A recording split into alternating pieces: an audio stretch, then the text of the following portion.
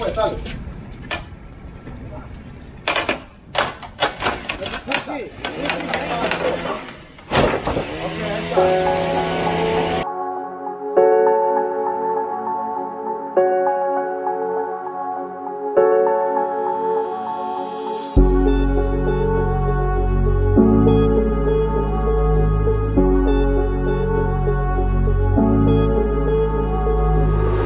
All right, we're just gonna jump right into this. This is part one of maybe four, maybe five videos to this project. It is a modern landscape project. We got a smooth concrete retaining wall going in. We got some colored concrete pavers, a batu deck, a basketball court.